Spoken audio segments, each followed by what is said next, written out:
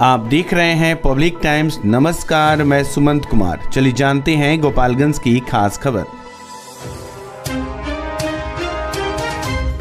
अपनी साफ़ सुथरी मांगों को लेकर जिला जन स्वास्थ्य कर्मचारी संघ ने जिला स्वास्थ्य समिति कार्यालय के समक्ष जोरदार प्रदर्शन किया। संघ के महामंत्री सुबेश सिंह ने बताया कि कार्यस्थल पर सुरक्षा की गारंटी एवं चेहरा देख उपस्थिति का विरोध सहित सात सूत्री मांग के समर्थन में सदर अस्पताल सहित ज़िले के विभिन्न स्वास्थ्य केंद्रों में तैनात एनएचएम कर्मी कार्यों का बहिष्कार किए। इस दौरान एनएचएम कर्मी बिहार राज्य और राजपत्रित कर्मचारी महासंघ के बैनर तले सीएस डीपीएम के कार्यालय के सामने मांग की समर्थन व सरकार के विरोध में प्रदर्शन किया। आपको बताते चले कि पूर्व नियोजित कार्यक्रम के तहत एनएचएम स्वास्थ्य कर्मी स्वास्थ्य मंत्री एवं स्थानीय विभागीय पदाधिकारी के खिलाफ प्रदर्शन किया। सीएचओ कर्मी कुमारी वंदना भारती ने बताया कि सभी लोग विशेष रूप से एफ़ आर ए एस से हाजिरी दर्ज करने का भेदभावपूर्ण आदेश का विरोध कर रही हैं, जिसमें नियमित व लाखों की सैलरी लेने वाले स्वास्थ्य कर्मी को डिजिटल अटेंडेंस के बंधन से मुक्त रखा गया है। उन्होंने बताया कि हमारी सात मांग में मुख्य रूप से समान काम का समान वेतन स्वास्थ्य विभाग में पद को सृजित करते हुए हमारी सेवा को भूतली प्रभाव से अस्थायी करने अप्रैल 2024 से लंबित वेतन का अविलंब भुगतान एफ़ आर ए एस विधि से डिजिटल अटेंडेंस बनाने की अव्यवहारिक एवं अविवेकपूर्ण आदेश को निरस्त करने, स्वास्थ्य उपकेंद्र पर अस्थायी भवन, आवासीय सुविधा प्रदान करने, कार्यस्थल पर शौचालय, स्वच्छ पेयजल व बिजली इत्यादि जैसी बुनियादी सुविधा बहाल करने एवं कार्यस्थल पर सुरक्षा की गारंटी सुनिश्चित करना शामिल है। हम लोग को ना फेस अटेंडेंस नहीं करना है ठीक है? हम लोग को रिक्शा का प्रॉब्लम होता है दो तीन बजे के बाद हम लोग के एरिया में रिक्शा नहीं मिलती है। और हम लोग समान काम करते हैं जब काम हम लोग ज़्यादा कर रहे हैं तो वेतन क्यों नहीं मिल रही है? हम लोग को पाँच महीने से वेतन नहीं मिली है। हम लोग पाँच महीने से कर्ज ले कहाँ नौकरी कर रहे हैं कर्ज लेंगे अच्छा बात है? बताइए। कितना नहीं मिला अभी तक? कितना हम लोग को मार्च से नहीं मिला है मार्च तक का मिला उसके बाद पेमेंट ही नहीं मिल रहा है। अभी तक बिना पेमेंट है? मुख्य मांगे है फेस अटेंडेंस फेस अटेंडेंस दो रंग नीति क्यों हो रही है? सारे स्टाफ का होना चाहिए ना हम लोग रुकेंगे। टाइमिंग नौ से पाँच जो कि रिक्शा नहीं मिलती हम लोग सात बजे निकलेंगे तो नौ बजे फिर भी नहीं पहुँच पाएँगे सेंटर तक। क्या नाम आपका? कुमारी वंदना भारती। डीएचएस में इसलिए खड़ा हुआ हुए हैं कि एक एफआरएस का सिस्टम लगा है जो कि बहुत ही निंदनीय है क्योंकि हम लोग एक देहात क्षेत्र में देहात क्षेत्र में हम लोग स्वास्थ्य सुविधा देते हैं। जहाँ की न जाने की सुविधा है और न आने की सुविधा है, न वहाँ बाथरूम है, न टॉयलेट है, न वहाँ खाने पीने की समस्या है। और ये एफआरएस में ये दिखाया गया है कि 9 बजे से आप 5 बजे तक रहिए, जबकि हमारी बहनें हैं, हमारी भाई हैं, इतना दूर दूर जाते हैं पीएससी से कि उन लोग को जाने के लिए पैदल जाना पड़ता है चार किलो, पाँच किलोमीटर। फिर उधर से आने के लिए पाँच बजे पूरा शाम हो जाएगा।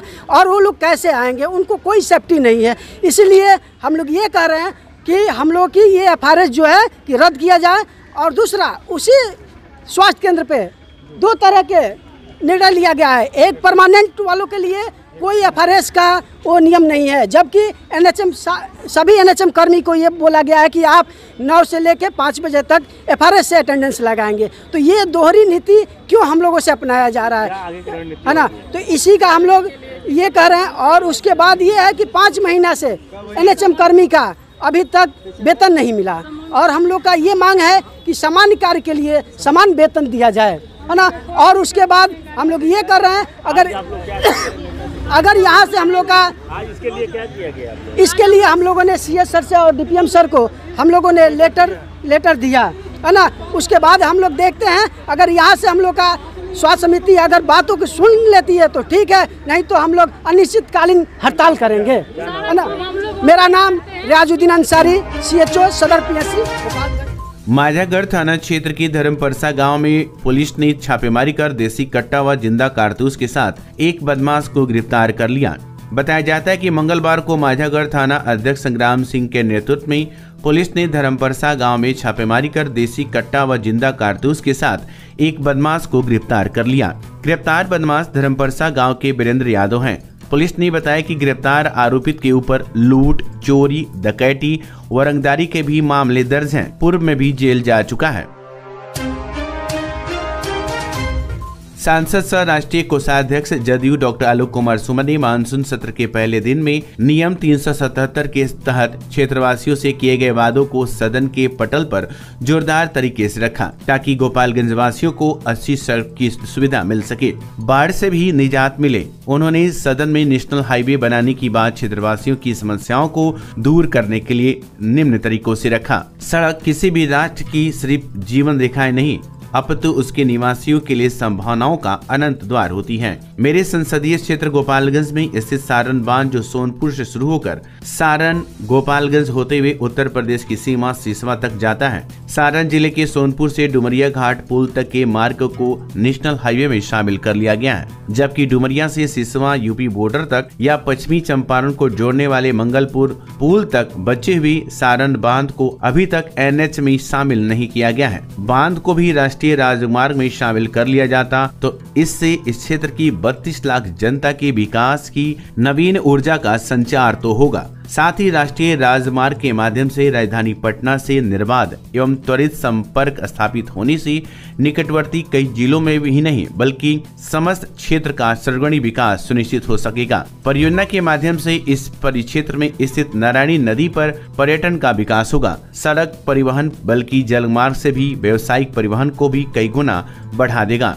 इससे रोज़गार की अनेक अवसर सृजित होंगे तथा हर वर्ष आने वाली बाढ़ और उससे होने वाली जल भराव एवं कटाव की समस्या पर भी नियंत्रण पाया जा सकेगा। मैं परिवहन एवं राज्य मार्ग मंत्री से अनुरोध करूँगा कि डुमरिया से सिसवा यूपी बॉर्डर तक या पश्चिमी चंपारण को जोड़ने वाले मंगलपुर तक बचे हुए सारण बाँध को नेशनल हाईवे में सम्मिलित किया जाए।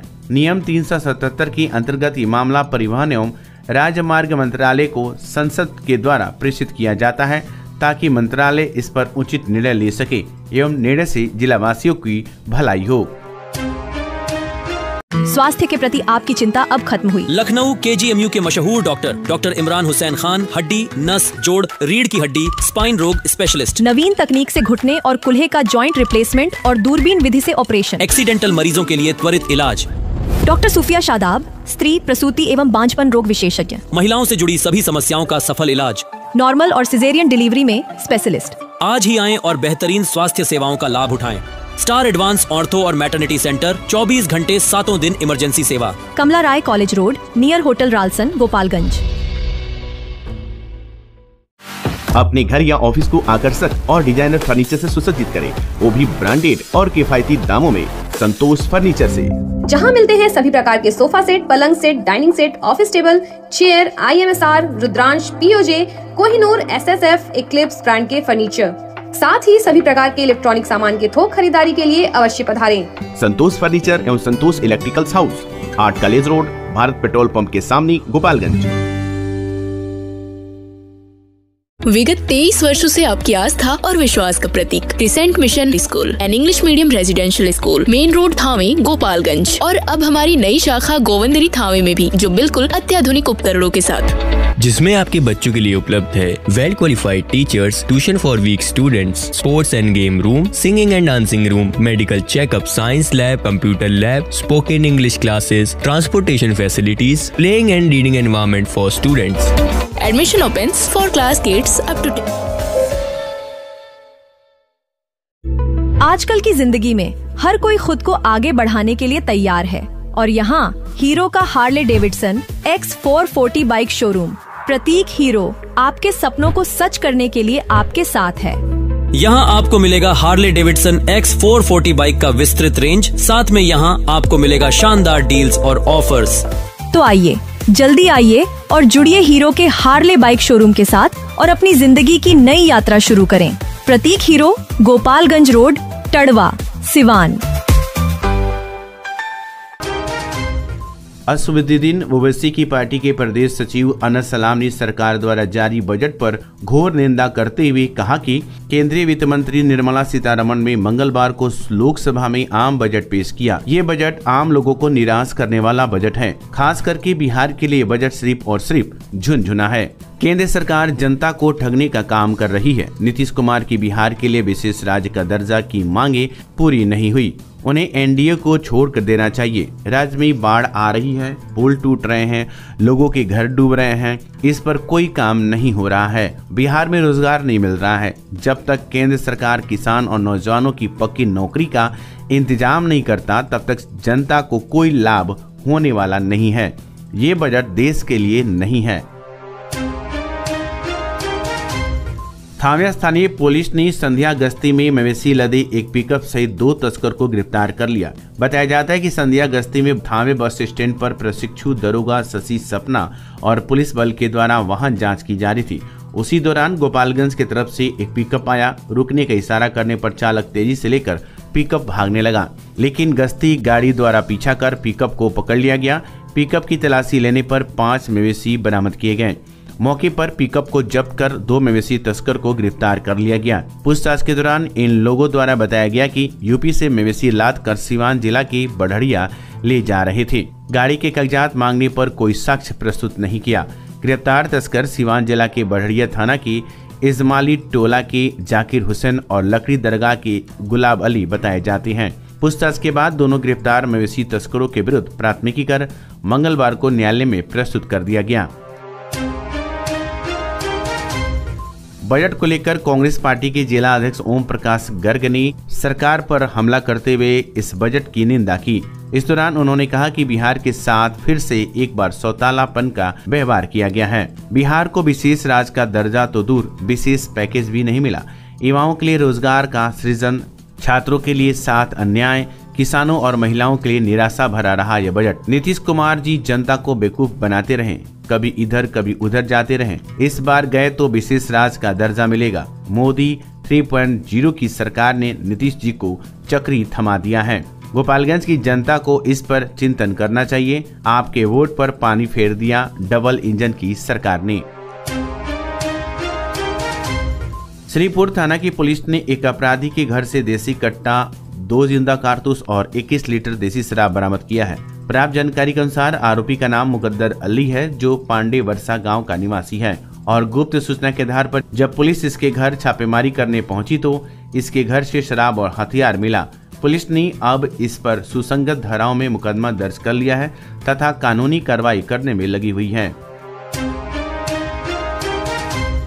माजागढ़ थाना की पुलिस फरार अपराधी के घर कोर्ट द्वारा जारी इश्तहार को लेकर सिवान पहुँची और वहाँ सिवान ज़िले के दरौली थाना क्षेत्र में पुलिस ने आरोपी विश्वकर्मा शाह के घर इश्तेहार का तामिला किया और जल्द सरेंडर करने का निर्देश दिया गया।